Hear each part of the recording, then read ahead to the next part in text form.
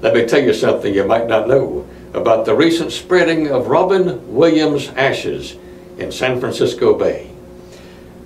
The last part of his life was spent dealing with severe depression. But today, Robin Williams' remains lie in a place that he loved so much, that beautiful San Francisco Bay.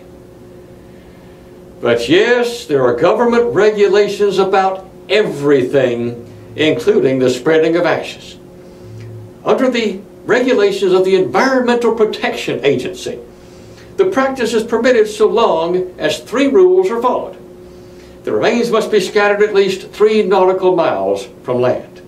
The remains scattered must be decomposable, that is, ashes are all right, but urns, that sort of thing, are not. And three, the spreading must be reported to the EPA office within 30 days. There are even different concerns for spreading ashes on land. For instance, in Yosemite National Park, the rules require they permit be obtained, and again, three rules, that the remains must be spread out of sight, two, they must be 100 yards from water, and three, there can be no marker left behind.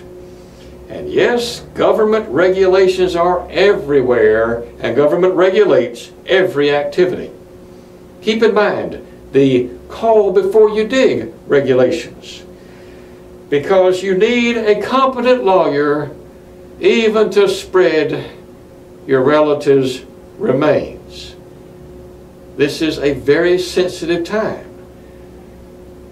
Handle it with care and don't wind up on the wrong side of the law. In nearly 40 years of law practice, I have handled hundreds of different kinds of legal issues. My job is to take care of my clients. Call me.